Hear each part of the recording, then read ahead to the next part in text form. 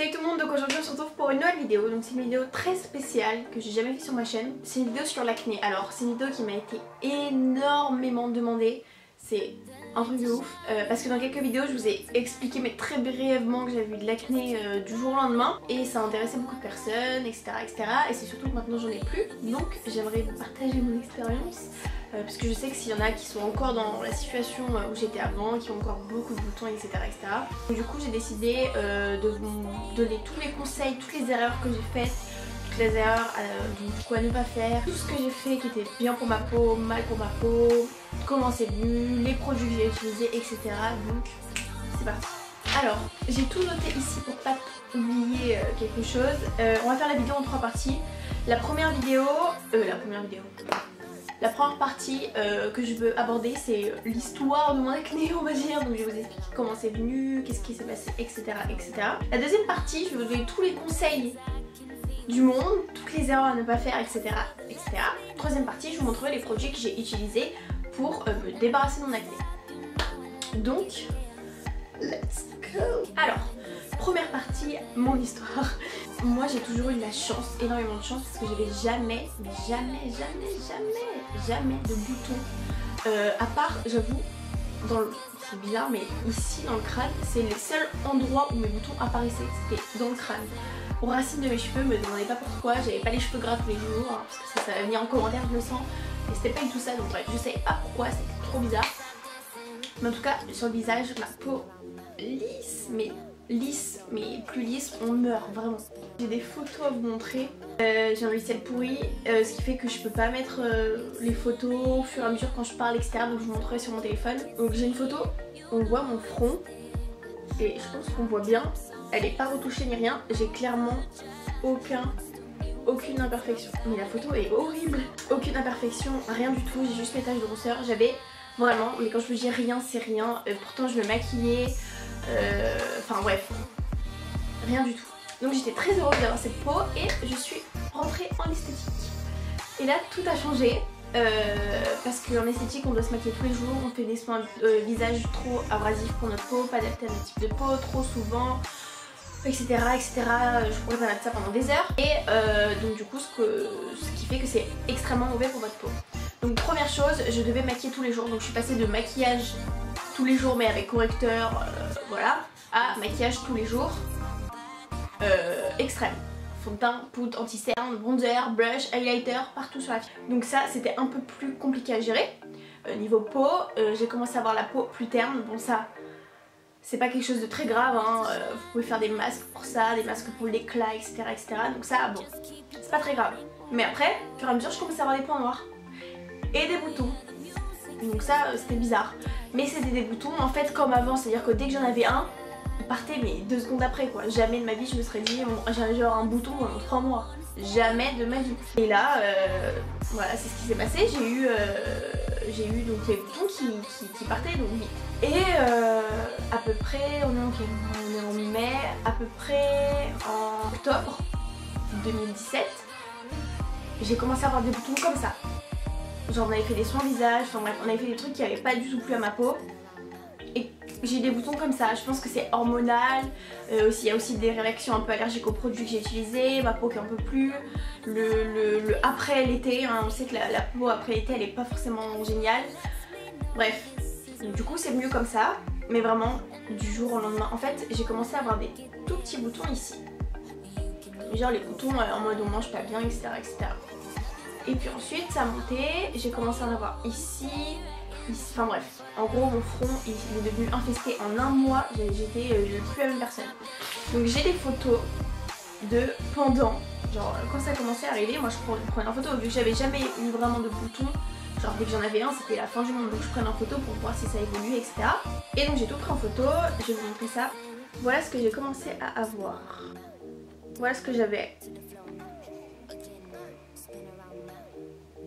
Voilà, donc ça c'était bon des boutons mais c'était pas un truc de fou Et ensuite une autre photo où là ça commençait à monter un peu sur le front.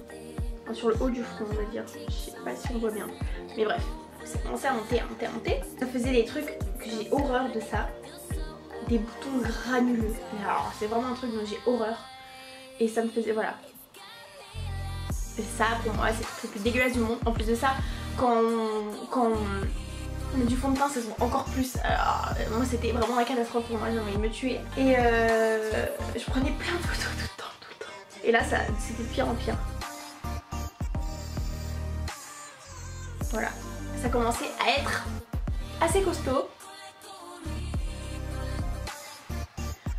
Donc là je commence à avoir des boutons comme ça. Et euh, ensuite c'était vraiment, vraiment, vraiment pas beau du tout.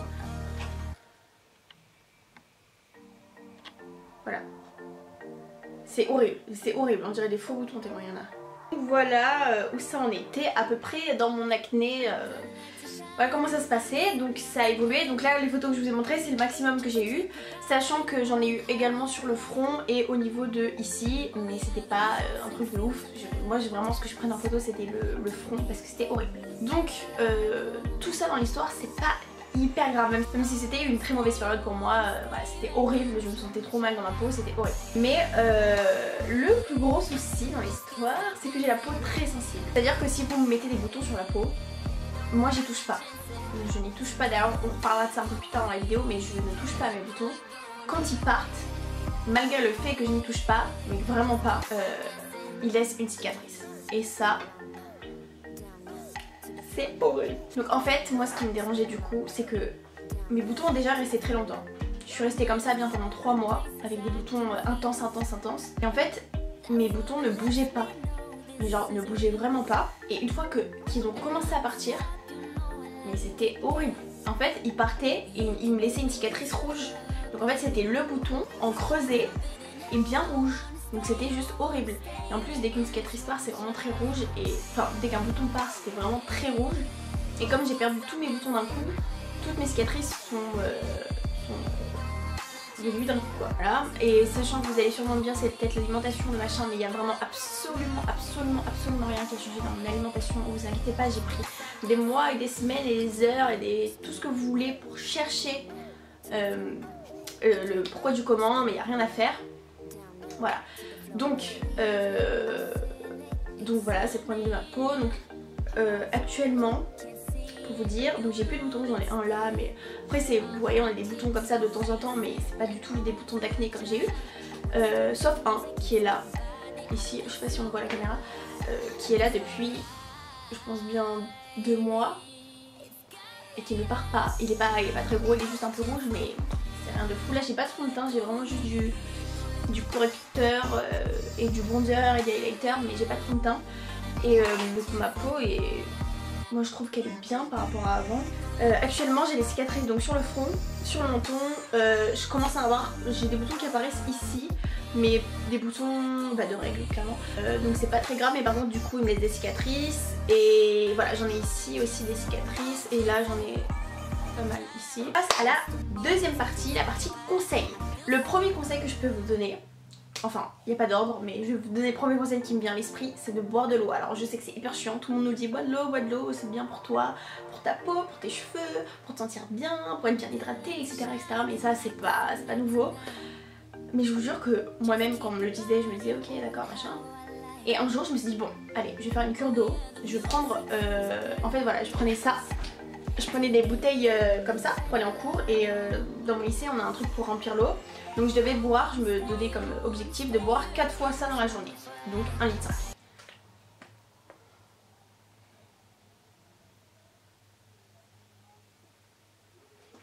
je devais boire 4 fois 50 centilitres. Et donc c'est ce que je faisais. Je me disais, alors là j'ai 2 heures d'anglais, donc après les 2 heures d'anglais il faut que je finisse cette bouteille, enfin bref, je me disais ça dans ma tête. Et donc je buvais comme ça tous les jours. Enfin je le fais toujours d'ailleurs, je sais pas pourquoi je parle au passé. Mais euh, je dois boire comme ça parce que je vais plus quoi. Donc ça c'est le minimum. En fait le minimum c'est 3 fois. Sachant que l'eau vous le trouvez dans d'autres aliments, voilà, dans les légumes, etc. etc. Normalement faudrait, je crois que, non je, je veux pas dire de bêtises, je sais plus combien d'eau il faut dans le, dans le corps par jour. Mais bon bref, peu importe. Et c'était mon strict minimum. Et je vous jure que quand j'ai commencé ma cure, rien qu'au bout de deux semaines, ma peau a été toute hydratée, il y a une différence au niveau de mes pores, de mes boutons qui étaient, euh, plus quoi. vraiment je vous jure que c'est miraculeux la peau. Genre euh, la peau, non, l'eau. C'est à dire que là c'est dans ma période où j'essayais d'enlever mes boutons j'ai commencé la cure. Et je vous jure que ça m'a vraiment aidé. Vraiment, vraiment, vraiment. Euh, même pour tout, mes rougeurs, même tu te sens mieux quand tu bois de l'eau. Enfin vraiment c'est trop trop trop trop bien, donc buvez de l'eau. Alors, un autre truc qui est hyper chiant, là je comprends, on est tous dans la même galère, mais c'est l'alimentation. On sait tous que le pire pour l'acné, c'est le chocolat, euh, les chips et le saucisson. Tous les trucs gras comme ça. Ah. Alors, ce qui est aussi très important, c'est de se démaquiller tous les jours. Euh, ça, je sais qu'il y a beaucoup de monde qui ne le fait pas. Moi, franchement, c'est un truc que j'ai jamais pu, euh, m'y faire. Enfin, enfin m'y faire. Jamais pu comprendre les gens qui se démaquillaient pas. Comment vous pouvez ne pas vous démaquiller Genre, c'est horrible. Et franchement, si vous avez de l'acné et vous ne vous démaquillez pas, mais là, mais vous étonnez même pas. Il faut, commencer de la base. Hein. Ça sert à rien d'aller prendre des traitements chez le dermatologue qui va vous tuer la peau, enfin vous tuer intérieurement, des trucs hyper chimiques, d'aller faire des prises de sang. Euh, tous les mois, tout le temps, tout le temps, tout le temps pour voir si tout va bien parce qu'il y a des risques de dépression, trucs. Alors que vous vous démaquillez pas, faut même pas chercher. Les dermatologues, ils vous vendent. Je critique pas du tout les, les dermatologues, etc. Mais ils voient votre peau. Si vous avez beaucoup d'acné, si moi j'étais allée chez un dermatologue pendant mon, mon truc, ma, ma période d'acné, je peux vous assurer qu'ils m'auraient prescrit un médicament hyper méga mauvais pour mon corps. Peut-être que ça m'aurait enlevé mes boutons, mais c'est hyper méga mauvais. En plus, il y a des risques que derrière vos boutons reviennent. Enfin franchement, euh, faut, pas, faut déjà partir de la base et essayer d'enlever tous les mauvais trucs que vous faites dans, votre quotidien. Donc voilà, il faut vous démaquiller absolument. Euh, il faut prendre soin de votre peau, mettre des crèmes adaptées à votre type de peau, bien adaptées à votre type de peau. Si vous avez la peau grasse, vous avez une crème pour les peaux sèches, c'est normal que vous ayez des boutons. Voilà, en fait, faut vraiment partir de la base et voir toute votre routine beauté, votre routine dans la vie tous les jours, les produits que vous utilisez, etc. Si tout ça c'est adapté à vous ou non. Si déjà c'est pas adapté, il y a un souci. Il faut déjà partir de là, changer. Et s'il n'y a pas de changement au niveau peau, on peut voir peut-être pour autre chose. Très important. On n'y pense pas forcément euh, que ça peut avoir des actions sur la peau, mais changer les thés d'oreiller c'est hyper important parce qu'en fait vous frottez votre visage toute la nuit sur votre thé d'oreiller donc si vous avez la peau un peu grasse, parce qu'on a tendance à avoir la peau qui peut graisser pendant la nuit, etc. C'est hyper mauvais si vous, le lendemain vous recouchez sur ça. Donc voilà, l'idéal, euh, ça serait... Enfin, il faudrait déjà, sur une fois par semaine, changer vos thés d'oreiller. Si vous pouvez le faire plus, c'est bien. Franchement, si vous avez la, peau à tendance grasse et tout, changez plus d'une fois par semaine si vous pouvez. Sinon, une fois par semaine, c'est ce qu'il faudrait faire. Mais maximum, mais grand maximum, une fois toutes les deux semaines, c'est pas possible autrement franchement. Un conseil mais hyper, mais hyper important, mais ça, peut sauver votre peau, c'est de ne pas la toucher. Premièrement, ne pas exposer vos boutons, même si vous n'avez pas une peau sensible et que vous n'avez pas de cicatrice après, ne les exposez pas parce que les microbes, tout va de partout. Et donc du coup après, enfin si vous, avez un bouton, vous l'explosez, vous dites ah c'est bien le petit liquide qui sort. Si le liquide va un peu partout sur votre peau, le bouton il va apparaître autre part. Voilà, ça c'est un truc qu'on apprend en esthétique, un truc basique. Euh, mais en fait, toute votre peau, tout est un contagieux, on va dire. Tous les boutons sont contagieux. N'utilisez pas de fond de teint en stick parce que tous les microbes vont partout. Euh, il y a énormément de choses auxquelles il faut penser, mais le plus important c'est de ne pas toucher sa peau. Si vous êtes en cours, que vous touchez votre peau, que vous explosez des boutons, pas en cours, mais si vous explosez des boutons chez vous, des trucs comme ça, mais c'est hyper mauvais pour votre peau. C'est hyper mauvais. Les boutons ils vont rester et ils vont en faire d'autres, ils vont être encore plus rouges, encore plus énormes et ne faites pas ça. Et surtout, moi, ce que je fais, bah d'ailleurs, c'est là, euh, j'ai installé ça juste à côté de mon bureau. Donc c'est là où je fais mon make-up et mes soins du soir, mon démaquillant, etc. etc. Et en fait, euh, le matin, avant de me maquiller, je me désinfecte les mains. Je sais que c'est pas très bien de se désinfecter tout le temps les mains, c'est juste que j'ai toujours la flemme d'aller euh, jusqu'à la salle de bain pour me laver les mains. Donc j'ai un désinfectant. Si vous pouvez le faire à proximité, vous avez un lavabo, lavez-vous les mains à chaque fois avant de vous toucher la peau. Donc avant de mettre vos crèmes, Genre surtout ce qu'il faut pas faire c'est avoir une crème, avoir les doigts dégueulasses, mettre les doigts dans la crème et mettre sa crème déjà ça va sur votre peau, vos doigts dégueulasses et en plus ça a contaminé tout votre pot de crème. Donc surtout faites très attention à ça et toujours les, mains bien propres lorsque vous prenez soin de votre peau. Un autre truc très important au niveau hygiène c'est les pinceaux à maquillage. Nettoyez hyper bien vos pinceaux à maquillage, c'est hyper hyper important. Sans ça, euh, c'est la base quoi. Les pinceaux au fond de teint et tout des de fond de teint quand vous les nettoyez, ça je ne peux plus voir ça. S'il vous plaît, une fois par semaine. Moi, personnellement, je lave mes pinceaux une fois par semaine et je m'y tiens. Bon, après, je maquille, etc. Donc, c'est pas pareil. Je maquille sûrement peut-être plus que vous ou peut-être moins que vous. Mais c'est hyper important de les. au moins une fois par mois avec le grand, grand maximum, quoi. C'est une fois par mois. Euh, ce qui est bien aussi, c'est de faire des masques et gommages, encore une fois, adaptés à votre type de peau. Euh, n'hésitez pas à aller chez, je sais pas, où vous achetez vos produits, moi personnellement c'est souvent chez Sephora, euh, à demander euh, conseil aux, vendeuses. C'est hyper important que ce soit vraiment adapté à votre type de peau parce que sinon vous allez vous tuer la peau. Euh, sinon aussi ce qui est bien, je sais que c'est un peu chiant mais c'est peut-être de moins se maquiller. Moi, récemment, je, vais de moins en moins en cours vu que c'est la fin de l'année, que j'ai des révisions à faire chez moi, etc. Mais en fait, ce que moi je fais, bon là je me maquille pour la vidéo, mais chez moi déjà je me maquille pas, c'est sûr. Si je sors pour aller faire des courses ou faire je sais pas quoi, je me maquille pas, je me maquille que vraiment si je vais en cours. Et encore, je mets plus de teint, je mets que du correcteur. Euh, et après, bah en fait je me maquille comme ça, on va dire. Je me maquille correcteur, après je me mets un peu de bronzer, un peu d'highlighter, je me fais les yeux et puis voilà. Essayez de faire ça, je vous jure que c'est une habitude à prendre. Peut-être que la première semaine ça va vous faire bizarre d'être moins maquillée, mais après vous allez vous y habituer et puis ça va partir tout seul. Puis là en plus c'est une période où il commence à faire chaud donc euh, honnêtement euh, porter 3 tonnes de maquillage sur le visage c'est pas agréable. C'est pas cool du tout, en plus on brille etc. Donc vaut mieux pas euh, tenter ce genre de choses. Dernière partie de la vidéo, ma routine beauté, les produits qui ont marché pour moi etc. Je vais tout vous montrer. Alors, premièrement au niveau de mes produits qui ont marché pour l'acné, on va parler de deux produits mettre sur les boutons, donc pour faire partir les boutons. Donc premièrement il y a le produit de chez Kills que j'avais d'ailleurs eu en partenariat. Il n'y en a qu'un, hein, il y en a qu'un pour l'acné.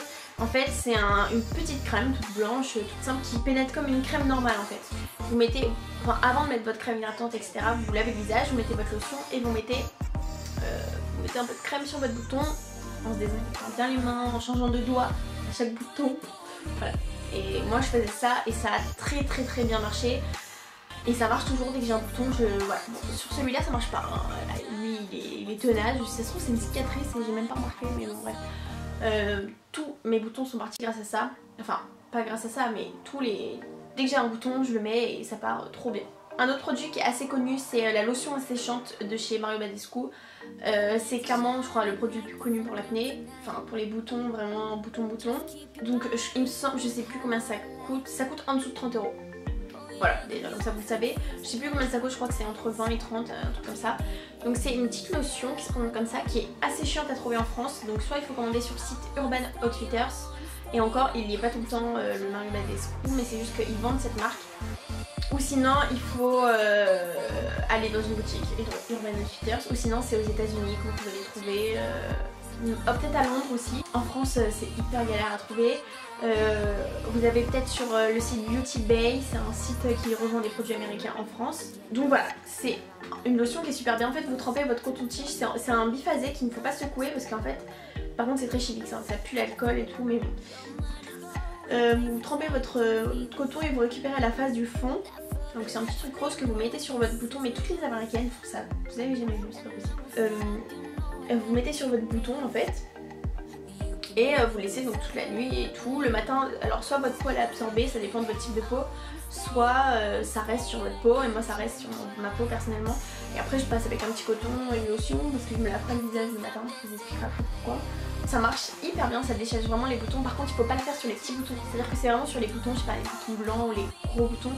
C'est pas genre vous avez la peau granuleuse, enfin la photo que je vous ai montrée où j'ai la peau granuleuse en début de vidéo, faut pas faire là-dessus parce qu'en fait ça va plus faire ressortir votre bouton, je sais pas trop comment expliquer. C'est pas très logique mais je sais pas comment expliquer. Alors, je suis allée chercher le produit qui me manquait. Euh, c'est mon nettoyant pour le visage. Alors juste pour vous expliquer, je me nettoie le visage que le soir. Alors déjà pourquoi le soir? Parce que le soir personnellement, euh, bah moi comme je me maquille, voilà. Quand je me démaquille, j'ai besoin de me laver le visage après, je peux pas me démaquiller ensuite mettre ma crème, je peux pas faire ça. Euh, donc je suis obligée de nettoyer ma peau personnellement. Après vous faites comme vous voulez. Il y en a qui préfèrent le matin pour un côté frais, etc. Moi j'ai pas du tout besoin, j'ai pas de peau grasse particulièrement le matin. Enfin il n'y a rien de, spécial à, voir sur moi le matin. Donc du coup je, préfère vraiment le soir. Comme ça ma peau est bien prête à absorber toutes mes crèmes, etc. Donc ça c'est vraiment important selon moi.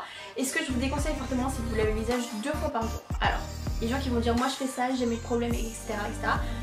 Alors ok, mais en tout cas si vous avez de l'acné c'est trop abrasif, c'est mauvais pour votre peau, ça la, ça la décape, il faut pas se décaper la peau en fait, ça c'est un problème que les gens comprennent pas, si vous décapez votre peau, vous faites trop de masque, trop de gommage, trop de nettoyage, trop de lotion, trop de tout, votre peau va être décapée, elle va reproduire encore plus de sébum Et là, euh, laissez tomber la galère, hein, les boutons, les points noirs, tout ce que vous voulez. Donc ça, c'est vraiment pas à faire du tout. Bref, mon nettoyant préféré. Alors lui, je pense que je vais m'acheter un, carton complet de ce produit parce que c'est le meilleur que je connaisse. J'en ai testé des milliards et des milliards et c'est comme si ma peau s'était habituée à ce produit et dès que j'utilise un autre, ça me fait des boutons mais c'est un truc de dingue, je vous jure que c'est vrai. Bref, c'est le Mario Badescu Enzyme Cleansing Gel. Donc c'est un gel qui est très bien pour les points noirs, pour l'acné, pour euh, tout ce que vous voulez s'il est parfait. Ils sont bons. Ils sont bons et il me semble qu'ils coûtent pas plus de 30 euros non plus. En tout cas pas plus de 40 ça c'est sûr. Mais euh, je sais plus combien ça coûte. Honnêtement c'est pas non plus les produits les plus chers et ils sont vraiment vraiment top. Et vous pouvez regarder sur le site Urban Outfitters si jamais vous voulez commander. Il y a énormément de produits différents. Donc euh, vous avez pour les points noirs, pour l'acné, pour tout ce que vous voulez et c'est vraiment trop trop bien. Alors un truc qui m'a énormément aidé, mais genre énormément, et je me suis décidée à acheter, il y a un mini fond, faut que j'en rachète, c'est horrible cette sensation, c'est horrible. La lotion clarifiante, exfoliante matin et soir euh, pour les peaux mixtes à grasse de chez Clinique. Alors, j'ai pas la peau grasse, j'ai la peau plus mixte, mais euh, honnêtement, ce qui était trop... En fait, c'est ce qui a retiré mes boutons. Clairement, je suis persuadée que c'est ce produit qui a fait que mes boutons sont partis beaucoup plus vite. Parce qu'en fait, ça vient comme, on va dire, désinfecter votre peau. C'est-à-dire que vous démaquillez, vous vous lavez le visage, et vous passez votre lotion. Ça enlève tous les microbes, tous les petits trucs, et là vous pouvez mettre votre crème. Et bah je vous jure que ça m'a trop aidé. Par contre, je vous déconseille de mettre sur tout le visage, je vous conseille plus de mettre là où vous avez des problèmes d'acné, à moins que vous ayez la peau vraiment très grasse. Mais moi je vous conseille ça et elle existe aussi pour euh, les types de peau, euh, enfin des peaux sensibles, etc. Il, y en a, plein. Et il y en a même une spéciale acné, mais j'avais peur que ce soit trop asséchant parce que j'ai vraiment pas la peau grasse. Donc, euh, voilà, j'ai pris celle-ci et elle me convient très bien. Et puis elle dure très longtemps, hein. j'utilise matin et soir depuis bien 3 mois je pense. Et franchement je suis tombée amoureuse de ce produit. Si je peux vous conseiller une crème pour le visage que j'utilise donc tous les soirs, c'est bien la Pornomore de chez Dr. Brandt. Euh, j'adore cette crème. En plus elle sent le frais, j'adore. Par contre le seul inconvénient c'est qu'elle coûte assez cher. Elle coûte, il me semble si je dis pas de bêtises, 56. 56 euros, vous pouvez la retrouver chez Sephora. Il y a énormément de produits euh, dans cette marque pour les peaux, euh, les peaux grasses, avec les peaux, les, les etc. Et en fait ça c'est une crème à la base qui est faite pour les pores. Mais ce que j'aime bien c'est que c'est une crème hydratante parce que c'est toujours le problème. On n'arrive jamais à trouver un truc assez hydratant pour un type de peau qui a des problèmes, etc. Donc elle est bien parce qu'elle est hydratante, elle est très bien pour les pores, pour l'acné, pour tout ce qu'il y a. Enfin moi ça vraiment ça m'enlève tous les petits boutons. Savez les petits boutons qu'on n'aime pas, les, trucs granuleux là, et bah ça m'enlève ça et je la trouve géniale. Euh, niveau contenance c'est pas ouf, 50 grammes ils disent. Je peux dire bonjour à la caméra et du coup voilà je vous la recommande à, fond la caisse Alors j'ai oublié de vous mentionner un conseil hyper important Je sais même pas comment j'ai pu oublier ça Enfin moi c'est par rapport à moi Une erreur que j'ai faite c'est d'utiliser des savons anti-acné. Donc des savons, des savonnettes quoi Anti-acné. Euh, J'ai utilisé celle de la marque Silhouette by S Qui est vraiment anti-acné Vous voyez sur le site des avant-après de fou Etc euh, que des problèmes, j'ai eu que des problèmes de peau à cause de ça. Et un autre savon anti-acné que j'ai utilisé je sais même plus la marque que c'était mais bref que des soucis avec les savons comme ça. Ma peau en tout cas n'aime pas du tout du tout du tout. Mais alors pas du tout ça. C'est le pire. Clairement euh, le pire. Dès que je mets ça j'ai un bouton mais c'est instantané je vous jure c'est un truc de dingue. Donc moi si je peux vous recommander quelque chose c'est de pas utiliser les savons comme ça. Même s'il y en a qui vous disent c'est plus naturel etc etc peut-être mais en tout cas euh, pour l'acné moi je trouve pas ça bien du tout parce que ça dessèche quand même pas mal la peau. Même si vous prenez un truc assez nourrissant ou ou ce que vous voulez. Euh, moi j'ai jamais aimé. Donc, donc voilà, c'est un petit, une petite anecdote. Et ensuite on parle de cicatrices, quels sont les produits qui ont bien marché pour mes cicatrices des Alors le premier c'est euh, le gel à la base d'escargot de chez Silhouette by S, donc vous devez sûrement connaître cette marque, j'en sais rien. Et en fait c'est un gel à la base d'escargot comme je l'ai dit et c'est un gel que j'applique en tant que sérum on va dire. Et ça c'est vraiment vraiment cool. Bah disons que ça a vachement atténué mes cicatrices en fait, les rougeurs on va dire. Pas autant que je l'aurais espéré honnêtement mais euh, c'est quand même pas mal. Honnêtement c'est plutôt cool. Et voilà donc si j'avais acheté ça et du coup le savon, ça ça marche super bien le savon bah voilà. j'ai pas du tout aimé. Niveau boutons, j'ai pas vu ma peau qui avait plus de boutons, etc. Vu que j'avais plus de boutons. Mais niveau cicatrice, c'est vachement cool. Niveau rougeur, ça fait rien. Niveau point ça fait rien. Faut être clair. Sur moi, ça n'a rien fait. Et ensuite, ce qui est très bien aussi pour votre peau acnéique, moi je m'en mets euh, quand je me maquille pas. Je mets ça juste ça sur ma peau. Euh, je mets du gel d'aloe vera, c'est nutritif et réparateur pour visage et corps, c'est de la marque Aromazone, c'est du bio, je vous conseille à fond l'aloe vera bio. Sinon euh, c'est vraiment pas cool pour votre peau voilà, pour le coup, mais ça c'est très très bien pour les cicatrices, pour, euh, pour les problèmes de peau c'est très très bien, c'est cicatrisant. Et le dernier conseil produit que je peux vous donner, c'est un truc qui s'appelle le Safi. Alors vous l'avez actuellement ici, c'est dégueulasse parce que là ça colle de partout. Euh, ça se présente comme ça et en gros je vais le poser parce que donc c'est pour euh, enlever les boutons et pour avoir the glowy skin et ça c'est vraiment cool. Donc en fait c'est une cure de 21 jours euh, que vous prenez tous les matins. Clairement c'est le truc le plus dégueulasse du monde mais clairement mais ça marche super bien pour votre peau. C'est une cure du matin quoi. Et sinon ce que je peux vous conseiller aussi c'est le citron citron tiède dès le matin, c'est le top du top du top, mais du top pour votre peau, même pour votre corps, c'est hyper bien. Pour euh, avoir un ventre plat, c'est parfait, c'est tout ce qu'il vous faut. Euh, je peux vous conseiller à fond. Ça, c'est vraiment les trucs qui marchent super bien. Et le saphir que je vous regarder tout à l'heure, euh, il vient d'Inde. C'est pas très facile à trouver, mais je crois qu'il y a un site qui livre en France et ça coûte rien du tout et c'est trop trop trop trop bien.